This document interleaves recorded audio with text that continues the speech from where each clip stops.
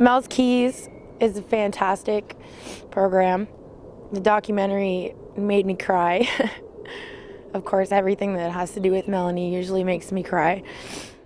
The documentary, uh, I thought it was fantastic. It's, it really captures the, the emotion of, you know, how much she's missed and how wonderful a person she was, you know, seeing her with the children. Really, really nice to see Mel again. It was nice to see her in the videos and remember as she was. Uh, Personally, out of the documentary, I got just, well, it was really sad to watch actually, but I mean, it, it got the message across to me personally.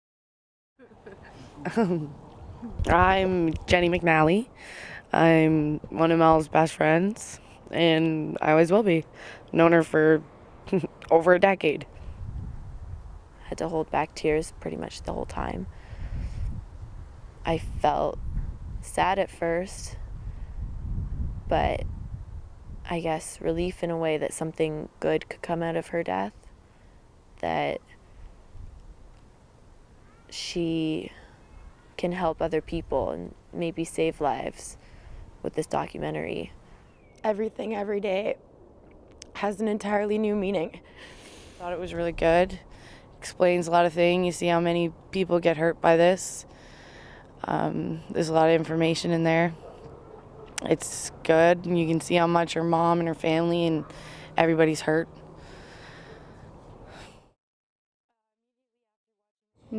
I would definitely recommend Mel's Keys. She was like so cool because she was my big sister, and I just looked up to her so much because she was just she was just so fun, and everyone seemed to like her. And sometimes it's almost harder seeing that kind of stuff.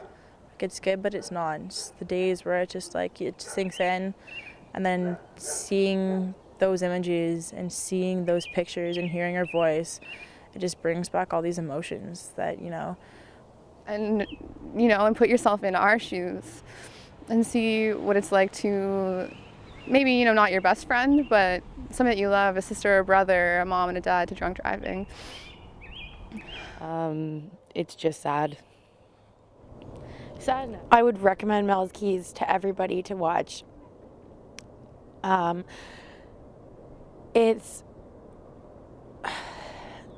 it's a very serious matter that not a lot of people think about. And it happens every weekend whenever people want to go out. I tell people that you need to cherish every moment that you have with your friends and your family. On a scale of 1 to 10, I would definitely rate Mel's Keys in the top 10.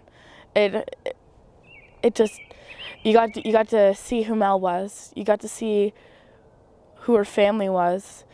And you got to see how she was with children and just you got to see everything about her really